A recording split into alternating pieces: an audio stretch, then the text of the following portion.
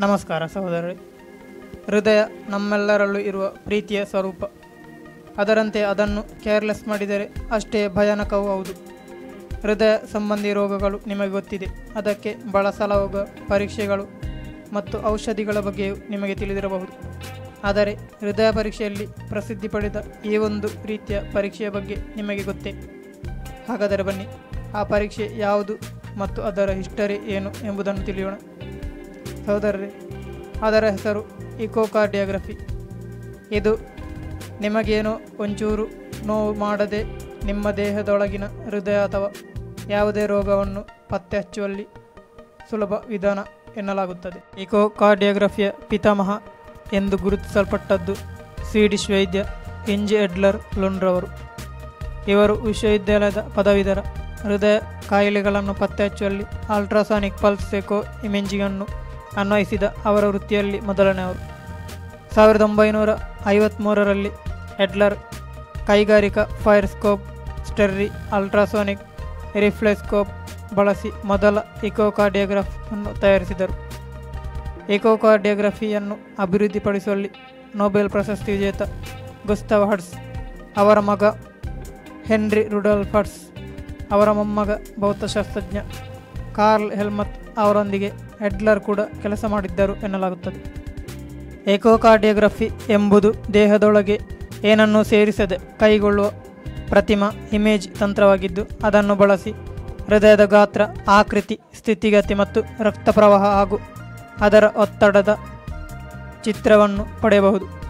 ಈ ತಂತ್ರಜ್ಞಾನದಲ್ಲಿ ಅನೇಕ ಬಗೆಯ ಅಲ್ಟ್ರಾಸೋನೋಗ್ರಫಿಯನ್ನು ಬಳಸಲಾಗುತ್ತದೆ.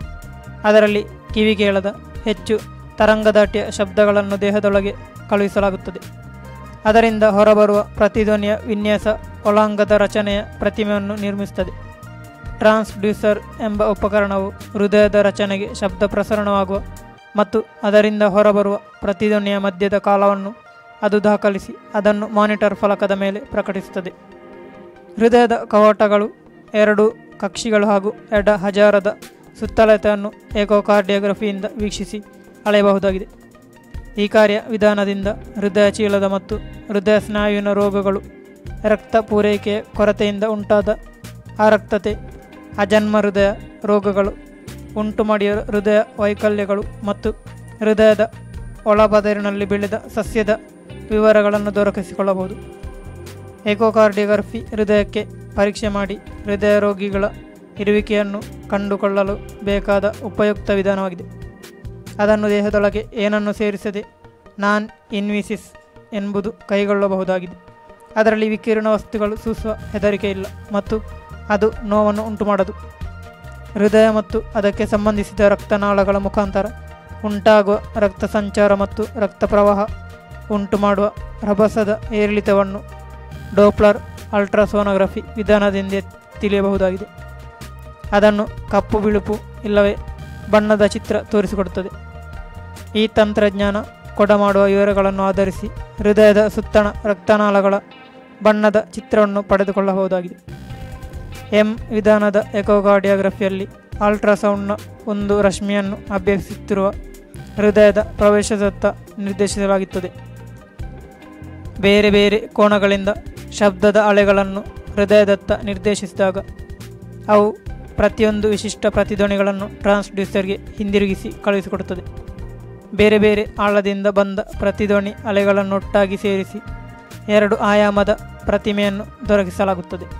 ಅದು ಆಗ ಎಕೋಕಾರ್ಡಿಯೋಗ್ರಾಮ್ ಅಂದರೆ ಪ್ರತಿಧ್ವನಿಯ ಹೃದಯ ಚಿತ್ರ ಎನಿಸಿಕೊಳ್ಳುವುದು. ಈ ವಿಧಾನದ ಚಿತ್ರೀಕರಣವನ್ನು ರೋಗಿಯನ್ನು ಅಂಗಾತ ಮಲಗಿಸಿ ಮಾಡಲಾಗುತ್ತದೆ. ಟ್ರಾನ್ಸ್ಡ್ಯೂಸರನ್ನು ಇರಿಸಲು ಅನುಕೂಲವಾಗುವಂತೆ ಎದೆಗೆ ವಾಹನ ಸಾಮರ್ಥ್ಯದ ಜೆಲ್ಲನ್ನು ಲೇಪಿಸಲಾಗುತ್ತದೆ. ಅದು ಶಬ್ದವನ್ನು ಶಕ್ತಿಯಾಗಿ ರೂಪಾಂತರಗೊಳಿಸಿ ಹೃದಯ ಮತ್ತು ರಕ್ತನಾಳಗಳ ಪ್ರತಿಮೆಯನ್ನು ರೂಪಿಸುತ್ತದೆ. ಹಾಗೆ ಪರೀಕ್ಷಿಸಿದಾಗ ಅನೇಕ ಬಗೆಯ ವೈಪರೀತ್ಯಗಳು ಗೋಚರಿಸಬಹುದು. ಅವುಗಳೆಂದರೆ ಕಿರಿದುಗೊಂಡ ಕವಾಟಗಳು, ದುರ್ಬಲಗೊಂಡು ಅಸಮರ್ಪಕವಾಗಿ ಮುಚ್ಚುವ ಕವಾಟಗಳು, ಹೃದಯ ಚೀಲದಲ್ಲಿ ಜಲಸಂಚ ಹೀಚಿ ದೊಡ್ಡದಾದ ಹೃದಯ, ಹೃದಯದ ಭಿತ್ತಿಯ ಚಲನೆ, ಕಕ್ಷಿಯು ಒತ್ತುಕೊಳ್ಳುವ ಸಾಮರ್ಥ್ಯ. ಹೇಳಿದ್ದೀರಲ್ಲ ಸಹೋದರರೇ ಏಕೋಕಾರ್ಡಿಯೋಗ್ರಫಿ ಈ ಪದವನ್ನು ನಿಮ್ಮ ಮೊದಲೇ ಕೇಳಿರಬಹುದು ಅಥವಾ ನಿಮಗೆ ಇಂತಹ ಸಂದರ್ಭಗಳು ಬಂದಿರಬಹುದು. ಹಾಗಾದರೆ ಕಮೆಂಟ್ ಮೂಲಕ ತಿಳಿಸಿ, ನಿಮಗೆ ಇದು ಮೊದಲೇ ಗೊತ್ತಿತ್ತೆ ಅಥವಾ ಈಗಷ್ಟೇ ಗೊತ್ತಾಯಿತೆ ಎಂಬುದನ್ನು ಆದಷ್ಟು ಶೇರ್ ಮಾಡಿ ಲೈಕ್ ಮಾಡಿ. ವಿಡಿಯೋ ನೋಡಿದ್ದಕ್ಕೆ ಧನ್ಯವಾದಗಳು. ನಮಸ್ಕಾರ.